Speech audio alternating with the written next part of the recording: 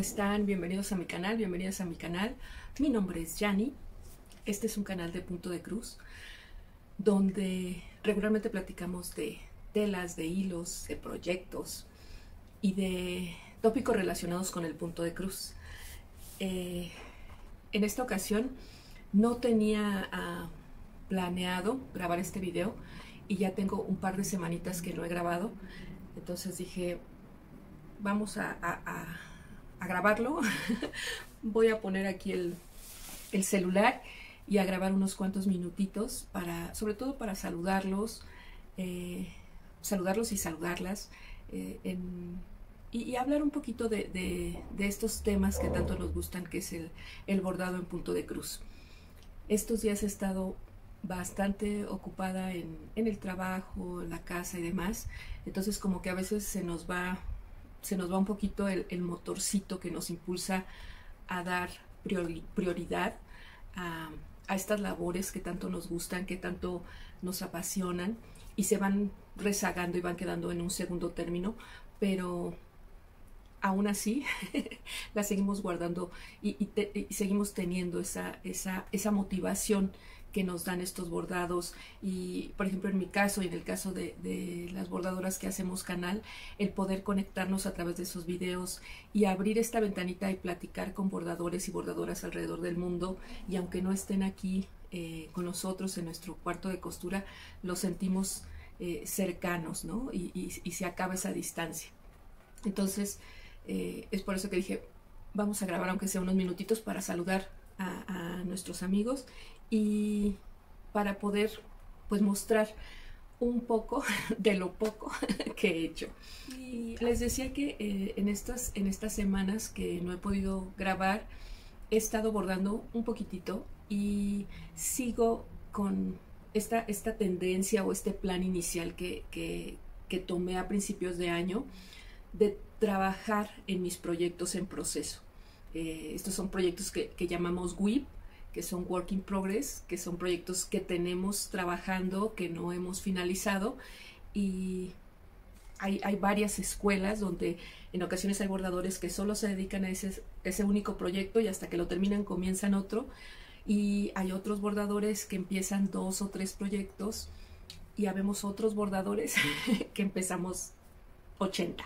Entonces, este, no tiene, eh, no, no hay una manera correcta de hacer las cosas es de acuerdo a cómo nosotros nos vayamos sintiendo, cómo vayamos este, atacando nuestros proyectos. En ocasiones nos hace falta esa motivación de un nuevo inicio y en ocasiones ese es la motivación del, del único proyecto en el que estamos trabajando, lo que nos hace terminarlo y poder continuar con otro, ¿no? Entonces, sí, habemos bordadores que tenemos uno o dos o cien proyectos y hay bordadores que solo tienen uno a la vez. Entonces, yo en este año decidí eh, tratar, fue, fue como el propósito, tratar de trabajar en proyectos que ya tuviera comenzados para no estar iniciando nuevos proyectos y que esos se quedaran tan rezagados.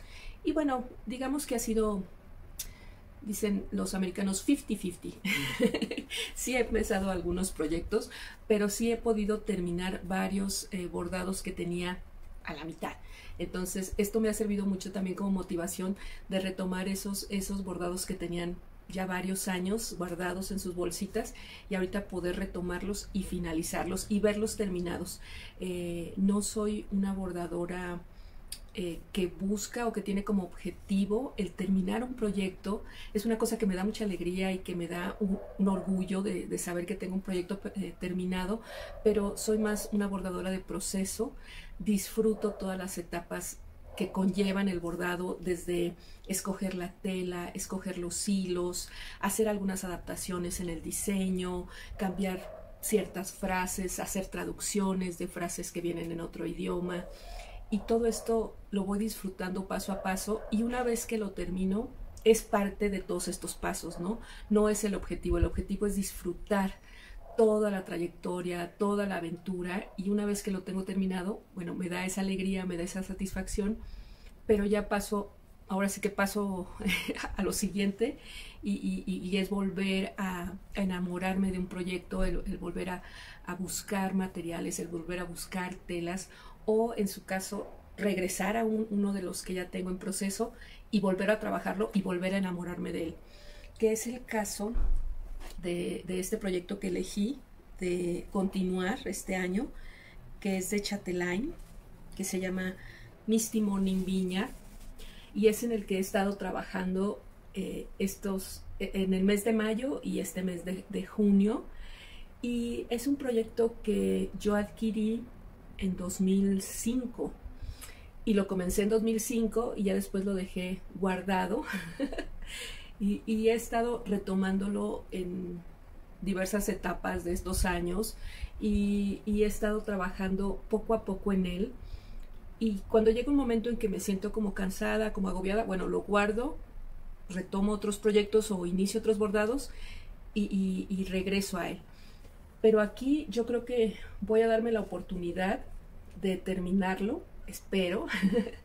Em, cuando lo retomé, eh, estaban hechos eh, la parte de los, de los pavos reales y faltaba todo lo que era el borde externo, que son todas estas enrejados y todas estas columnas, y es en lo que he estado eh, trabajando. Ya ahorita me falta terminar el enrejado de, esta, de estas columnas, ya están terminados las flores y el punto de cruz y los las puntadas especiales. Me falta hacer este enrejadito que se ve aquí como rombos, hacerlos aquí, delinear también estos floreros, poner unas puntaditas especiales aquí en este jarrón. Si se fijan aquí, esta esquina que ya está terminada, se ve el trabajo del delineado que cambia muchísimo. Aquí, por ejemplo, estos dos floreros con, lilas que tiene como hortensias no están delineados.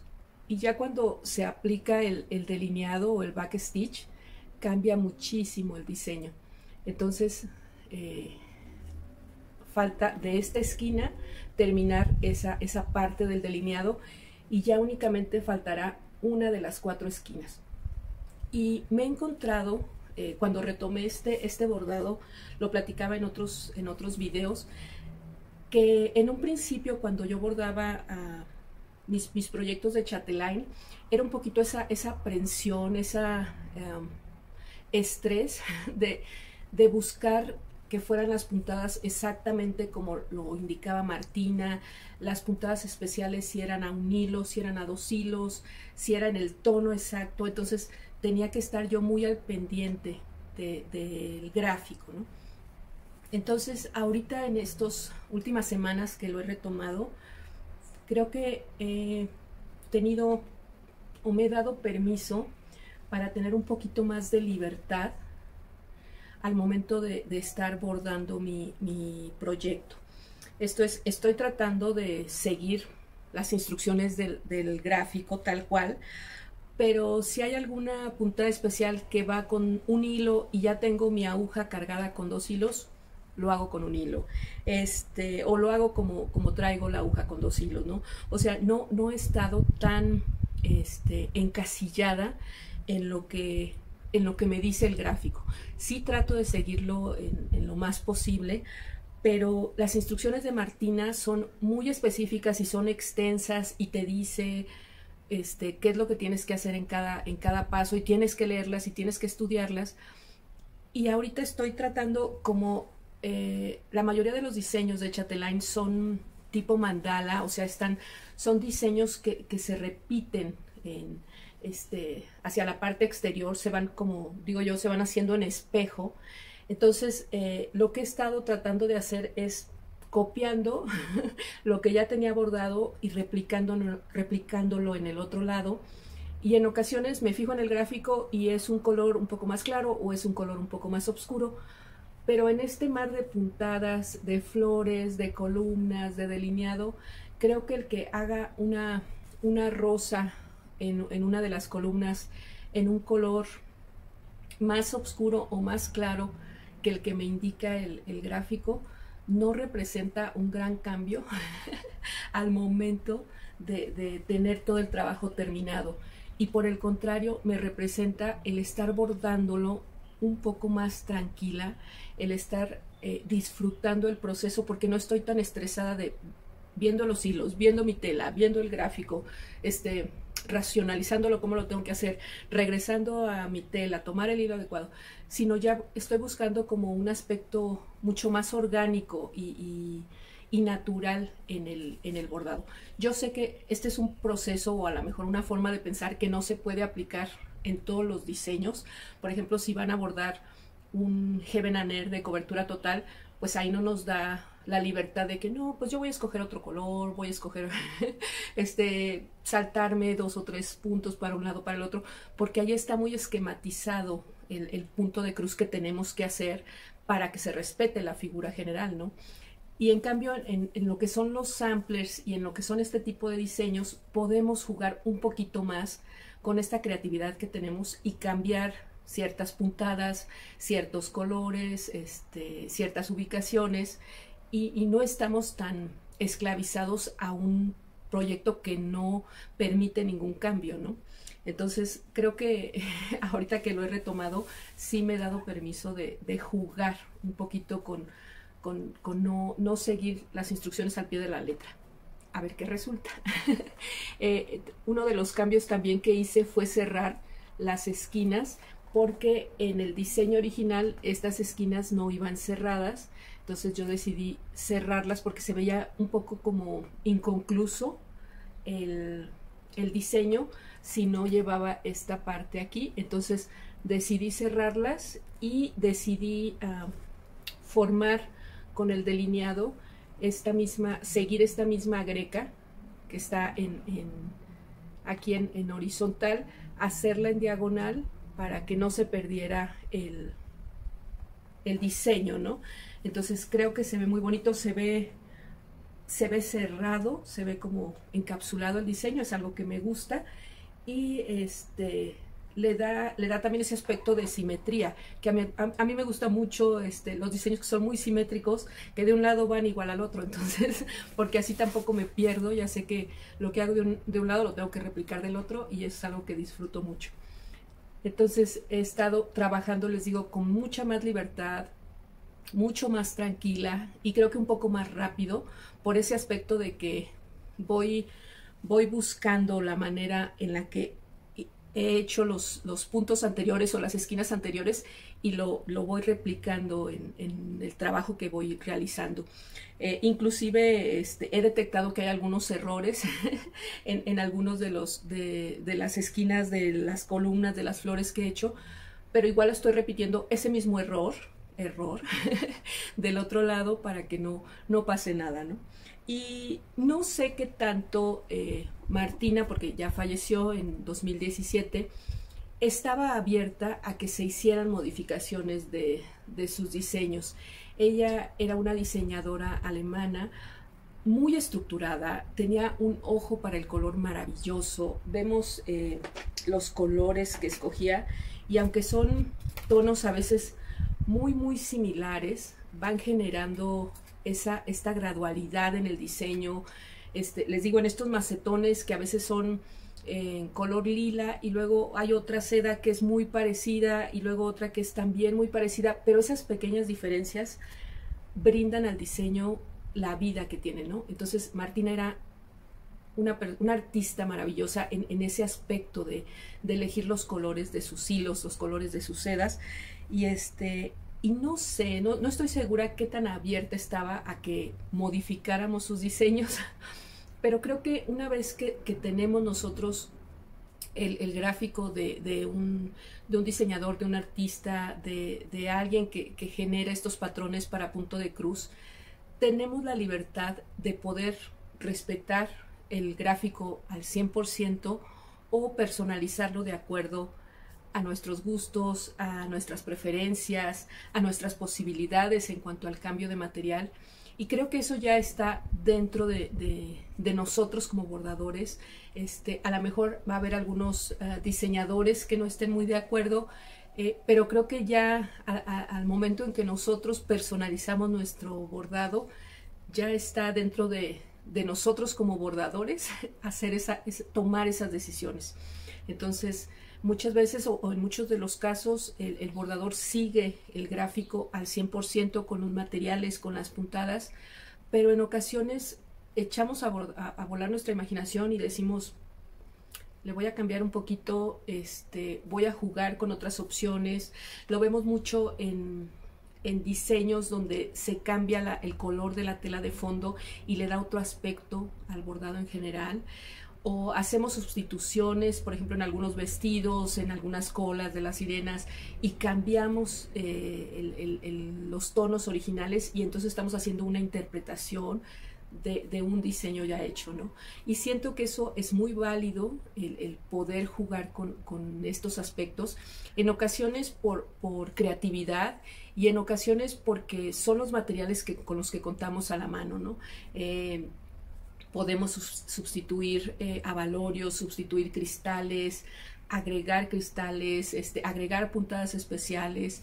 Hay, por ejemplo, ahorita están haciendo el bordado de, del sal de Alicia eh, por um, eh, Old Forest, la casa de diseño.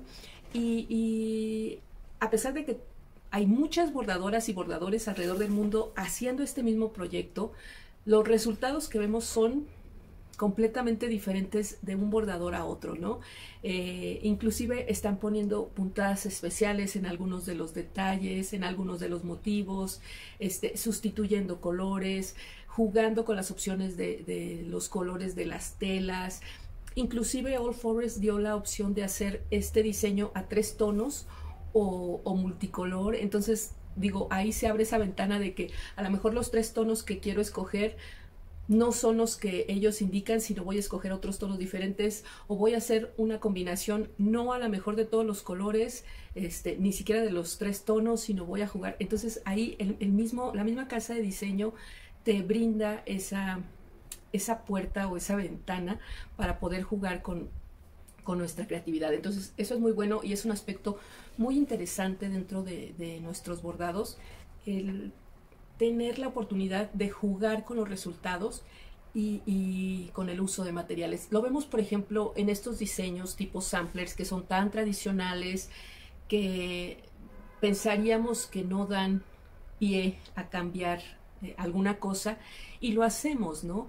En el caso, por ejemplo, de este bordado en rojo, que originalmente no era en rojo, era en azul, verde, entonces yo lo, interpreté como un bordado este, en rojo, eh, parecido a los, a los samplers tradicionales de Bristol. Entonces ahí se le da otro toque. Eh, este pajarito que me encanta también era en otro tono. Las letras estaban en la parte de, las palabras estaban en la parte de abajo. Invertí la, la ubicación. En el caso de este sampler de Hands Across the Sea, hice un cambio total. Agregué puntas especiales, este, como, como me iba pidiendo los espacios. Entonces, creo que, tenemos esa libertad si, si es, es algo que decidimos hacer, ¿no? Entonces, eh, digo, no se diga en el caso de Mirabilia que me gusta mucho jugar, no tanto con las conversiones de los vestidos, porque regularmente me gustan los colores de los trajes, pero sí con las telas que le pongo al bordado y para que cree este contraste entre el color del diseño original y la, la, tela donde lo bordo, ¿no? Entonces, es un mar de posibilidades. Eh, en ocasiones me preguntan, ¿no? Oye, Jenny, ¿qué tela me recomiendas para tal o cual diseño?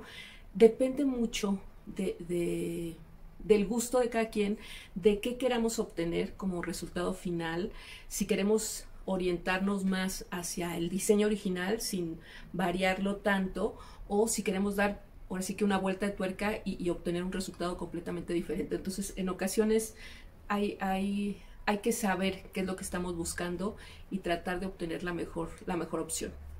Pero bueno, les, les comentaba de aquí de mi, de mi de, de Misty Morning Vineyard, este, que he estado bordándolo. Espero en este mes ya tenerlo terminado. Ya falta menos. ya este, después de 16 años ya, ya verlo concluido. ¿Qué tal? y eh, en la parte de, aquí arriba ustedes ven que, pongo una, una, marquita. Este, esto lo comento en, varios de mis videos. Eh, este, eh, estos bordados se bordan igual que otro tipo de bordados o de samplers o de mirabilias donde no se gira la tela para que la orientación de la, de la cruz no cambie. Entonces, como son muy similar, o sea, es similar el diseño, siempre pongo una marca para saber cuál es la parte de arriba de la tela y no irla girando. Cuando trabajan en un chatelaine sobre un bastidor, un bastidor de, de pie, bueno, pues este, ponen la, la, tela de esta manera, entonces ahí es más difícil que la, que la giren. Este, se, sostiene de esta manera, entonces ustedes van bordando y, no, hay, no hay tanto peligro de girar la tela al revés. Pero cuando bordan en, bastidor de mano, o como en mi caso, que, bordo sin, sin, bastidor, únicamente en mano, sí es muy útil tener la marca en la parte superior para no involuntariamente estar girando la tela. Me preguntan también en ocasiones, este, cómo bordo en mano. Tengo varios videos de, de borda conmigo, donde a lo mejor se ve de manera muy cerquita cómo tengo eh, sujetada la, la, tela y cómo voy haciendo las, las puntadas, pero es, es, como complicado explicar en palabras el, el, mi proceso de bordado a mano. Yo con, con la mano dominante pues la, la, tengo al frente y la mano donde sostengo la tela procuro este, estirar la tela para hacer un poquito el efecto de, bastidor. Y entonces con esta, con esta mano, este, ya sea que sobre estos dos dedos o, en tres dedos, trato de estirar la tela y al momento de bordar con, mi mano derecha, yo soy, yo soy diestra, hago el movimiento de, de, costura donde meto y saco la aguja en un solo movimiento. Entonces ahí este, en la parte de abajo yo tenso la tela, tenso, digo, estiro la tela o, posiciono la tela este, que me permita eh, con mi mano derecha meter y sacar la aguja y obtener el, no, no, arrugar la tela o, o, no deformarla, ¿no? Y esto me permite estar haciendo mis cruces de manera uniforme.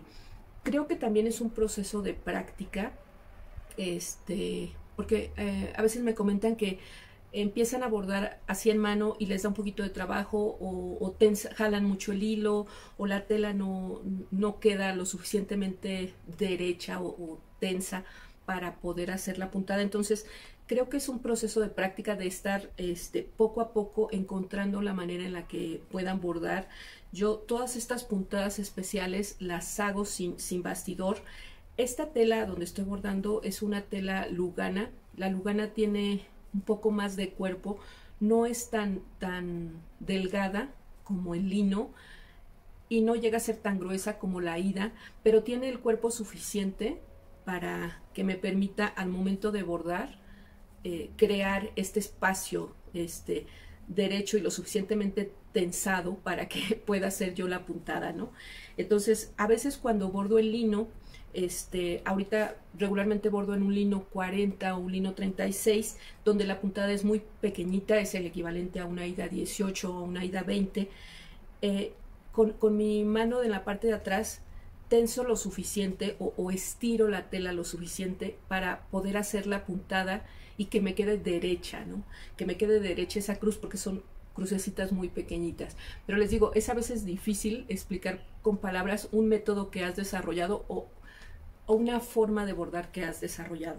Y como lo he mencionado en otras ocasiones, eh, podemos mm, buscar o ir practicando nuestro método de bordado y, e ir encontrando nuestro, nuestro propio, nuestra propia manera de bordar. A lo mejor no es completamente igual a alguien más que vemos que está bordando, este, pero nosotros vamos definiéndola y vamos perfeccionándola. Entonces, sí, sí, me preguntan en ocasiones, bueno, ¿cómo, cómo logras bordar sin el bastidor y creo que es eso, es estar encontrando esa manera, estirando un poquito la tela este, y, acostumbrándose a la manera en la, que, en la que vamos bordando. Es a lo mejor complicado ponerlo en palabras, pero este, les, les menciono en ocasiones, a mí se me hace... Eh, asombroso la manera en, la que bordan a dos, a dos eh, manos con la tela sujeta en el bastidor y como lanzan la aguja, la toman y la regresan y, de abajo la vuelven a lanzar, para mí es algo fuera de este mundo. y es algo que, que, admiro muchísimo y es un método diferente de, de bordado, ¿no? Entonces, yo entiendo que a lo mejor a mí se me hace este método de costura y de costura en mano muy sencillo. Este, decía Pili de, del, canal eh, Brujillizas, dice, bueno, pues yo como bordo, yo pensaba que todo el mundo bordaba así, entonces, y que no había que explicar nada, ¿no? Pero eh, es, es, muy común que nos encontremos este, con personas que bordan diferente que nosotros y nos dicen, es que no entiendo cómo bordas tú. Entonces, son, son diferentes maneras de, de tomar eh, la tela, de tomar los hilos, de tomar este proyecto. Puede ser con bastidor, puede ser en mano. Y es muy útil el estar viendo estos videos, por eso a veces eh, que vemos videos de, borda conmigo, eh, en ocasiones nada más los estamos oyendo y estamos bordando a la par que de la persona que tiene el video y en ocasiones es también muy útil el estar viendo cómo lo hace para empezar a, descifrar la técnica que utiliza y ver qué nos puede servir para nosotros, para, para aplicar en nuestros propios bordados, ¿no? Entonces, sí les digo, es depende del proyecto, depende de la tela, este, hay muchas personas que bordan eh, los chatelaine en mano, este, y hay muchas personas que, que, bordan el chatelaine en bastidores de pie y que tienen que tener la tela muy, muy tensa y que tienen que tener toda esta preparación para que les vaya quedando este, de manera adecuada su bordado. Entonces, es un, mar de posibilidades. Pero lo importante al final del día, creo yo, que es disfrutar de lo que hacemos, encontrar ese punto exacto, ese método de bordado que nos funcione, que nos sirva, que nos permita estar avanzando en nuestros proyectos y sobre todo disfrutar del proceso. Entonces, en el momento en que encuentres ese método tuyo, que puede ser diferente a, a otros bordadores, puedes empezar a perfeccionarlo, empezar a, mejorarlo y lo vas a seguir disfrutando. Y por supuesto que podemos mejorar técnicas y cambiar ciertas prácticas y ciertas cosas, pero será un proceso muy, muy personal. Y bueno, eh, también en este mes de junio decidí, hablando de que quería este, este año dedicarme a proyectos ya empezados, empecé uno nuevo. sí, como no este, decidí empezar un sampler con motivo de, un evento que se está llevando a cabo eh, en, la comunidad de bordadores. Este tipo de eventos se realizan principalmente con la finalidad de motivarnos para continuar con los proyectos, este, para fomentar las relaciones entre bordadores de todo el mundo, el poder conocer a otros bordadores que, que estén bordando proyectos similares a nosotros o que estén dentro de estos planes, ¿no? Entonces es como, como bordar juntos en la distancia. Y uno de estos eventos es el Cross Stitch Camp 2021, donde eh, es como si estuviéramos todos bordando ahorita en esta eh, época de, estos meses de verano y que estuviéramos así como que en una este, noche así en, pijamada o en este, disfrutando a la luz de la luna. Ah, qué romántico. este, y bordando juntos un proyecto. Y la idea es en el mes de junio, de julio y de agosto empezar tres proyectos. El que comiences en junio, pues terminarlo en junio, el que comiences en julio, terminarlo en julio, el que comiences en agosto, terminarlo en agosto. Y la idea es, es nuevamente motivarnos, estar bordando juntos, estar compartiendo sobre todo a través de Instagram este, con el hashtag uh, Cross Stitch Camp o Cross Stitch Camp 2021 este, estos avances y sentir esa cercanía con bordadores alrededor del mundo. Entonces yo dije, bueno, a mí no me dicen dos veces, vamos a empezar un nuevo proyecto y la idea de este proyecto del mes de junio nos pedía la organizadora que es... Uh, Colorado Cross Stitcher, eh, nos pedía escoger un bordado donde pudiéramos nosotros, eh, donde nos sintiéramos motivados, estuviéramos inspirados por este bordado, o sea, escoger un bordadito que nos motivara y nos inspirara. Entonces yo decidí eh, escoger un sampler, que ahorita me tiene muy, muy motivada y muy inspirada el tema de los samplers. Este, este es un sampler de Victoria House Design, que se llama All We Need Is Love. Este, imprimí aquí las hojitas. Y este es un sampler muy bonito, es un sampler pequeñito. Y les decía que, la idea de, de este primer diseño en julio es buscar un proyecto que nos inspirara y que nos motivara. Entonces yo decidí escoger este diseñito porque me inspira mucho el hecho, este, este sampler fue un regalo de la diseñadora que se puso en contacto conmigo en Instagram y me, me ofreció este, este diseño de regalo. Entonces me emociona mucho cómo nos acerca esta afición, este amor por los hilos, por las telas y como una bordadora mexicana, en mi caso yo, puede estar tan cerca de, una bordadora y diseñadora rusa este, y cómo nos conectamos. Digo, estamos literalmente al otro lado del mundo y, y, es este amor por el punto de cruz, por los samplers, por estos diseños tan clásicos, crean estos, estos puentes de, de comunicación. Entonces se me hace y, se me ha hecho siempre eh, una cosa muy admirable, eh, que, que, fue uno de los motivos por los que empecé este canal y por los que tengo estas redes sociales dedicadas al punto de cruz, el, generar estos lazos en, la comunidad. Entonces eso es algo que siempre me inspira, que siempre me motiva y dije yo, bueno, este es un, un diseño que, que, me encanta, es un diseño muy bonito y aparte trae esta, esta carga emocional de ser un regalo, de una diseñadora hacia mí y de tener este, este espíritu de unión, de unidad, de, estar eh, bordando un mismo proyecto en la distancia. Y eh, decidí utilizar eh, hilos CXC, que son estos hilos de, de, poliéster, y tiene unos colores muy, muy bonitos, muy clásicos de, de sampler, estos colores este, mostaza, olivos, los tonos de, rojo que son como muy clásicos de los samplers.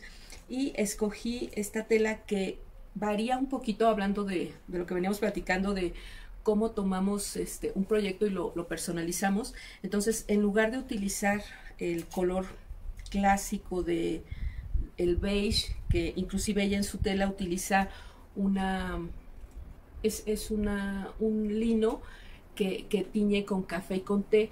Yo decidí utilizar este, esta tela que es mucho más eh, fuerte, mucho más olivo, pero la cual creo que, que, coordinan muy bien los colores amarillos, los colores mostaza y los colores rojos se, se destacan muchísimo. Entonces aquí estoy yo comenzando con este proyecto que va a ser mi, participación en el Cross Stitch Camp del mes de junio. No sé si, si vaya a, participar con un proyecto nuevo en julio y en agosto, que yo creo que sí. Pero este, la idea, pues en este mes de julio, de junio, será terminar este proyecto y mi chatelaine. ¿Ustedes creen? No lo sé. Este, entonces aquí están eh, los hilos, la tela, el diseño que es precioso y pues es mi, comienzo para, para junio bordando eh, eh, en, eh, unidas con, otros bordadores y bordadoras a, través de, esta actividad que les digo que finalmente son, son actividades que buscamos para motivarnos, para bordar juntos, porque aquí encerraditos en nuestro cuarto de costura a lo mejor pensamos que es una actividad en solitario, que es un hobby muy, muy personal, pero estamos unidos por este hilo conductor. Entonces, es otro de, los pequeños detalles que, tiene este proyecto, que, Carlitos me ayudó a, marcar mis, mis hilos para, para este bordado. Entonces, también tiene ahí su, su participación el Carlitos, el Carlitos Santo. y bueno, este es mi, mi reporte de, estos días que les digo que había estado un poquito alejada este, y se, hace más difícil retornar, como que se chivea uno, decimos aquí en México, nos da pena regresar, ¿qué va a decir la gente? Un vasito de leche, bueno, una tacita de leche, este, como que entre más dejamos este espacio sin grabar, más nos va costando trabajo, más este, en lo que se arranca. Entonces dije, no, no, no, no, no, dejen paso a saludar a la muchachada, a, mis amiguitos y a mis amiguitas bordadoras, este, dejándoles un saludito. Aquí sigo, bordando poquito, pero todavía bordando. y les dejo todo mi cariño. Eh, cuídense mucho, cuiden a sus familias, borden mucho. Feliz bordado y hasta la siguiente. Bye bye.